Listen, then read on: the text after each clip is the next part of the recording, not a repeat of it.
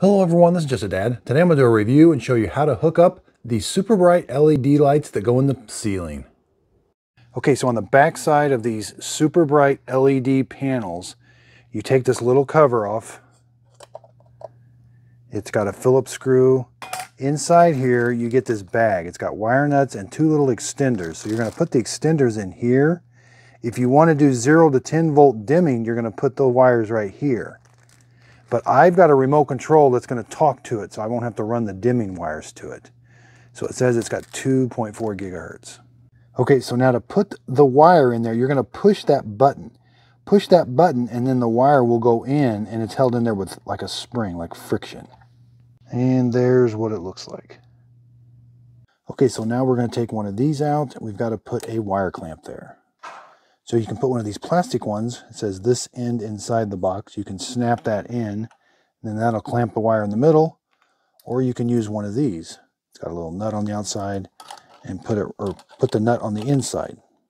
Okay, so I bought these pre these wire harnesses that have the open end on them that you can just plug in. And that's how I connected my wires. I run the clamp through, make sure the screws are going this way and not into the panel. And I used the wire nuts that came with the unit are actually really good wire nuts. Now, if I wanted to run in my own dimming wires, I would, they're stripped too much. I'd strip them a little bit less. But then you would put them into those terminal strips right there. Dim plus and dim minus. And that's the type of wire you would need. This is 18 gauge. Okay, so I've got four of these installed in my ceiling. I put a receptacle above my false ceiling. So I wired this receptacle to turn on and off with a switch, and I'm gonna plug them all into this. Okay, so now they're all installed. Let's just turn the switch on. Yeah, this does, this gives a lot of light off. Very, very impressive with these lights. Okay, so I've got the big lights installed. I've got the remote paired, and now I can turn them on and off with the remote. I really do like this remote and I can go right to 25%, 50%. I can change the temperature of the light really quick. And then I can change it all the way in there. I could even group these. I could put two of the lights on one group and two of the other lights or one light on one group. I've got, can group them. Okay, so here's the instruction manual that comes with that. And pairing them was really easy. You just got to be able to unplug them and plug them back in. Okay, so the way when you first get these lights, you got to do the ID button.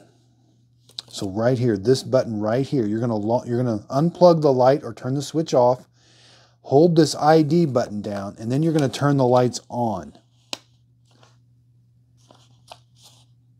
The ID button will flash. The lights are gonna flash. Matching code complete. So it was very, very easy. You're gonna notice it. Turn the lights off. Hold the ID button. Turn your lights on or plug them in and then the lights are going to flash to let you know that they are now being controlled with this. And then again, you can put it in groupings. And grouping is very simple. You're just going to hold down the one button for whatever you want one to be. Hold it down, plug just those lights in, and then they're going to flash, and then that'll be group one. Now here are all the instructions. It talks about the save button.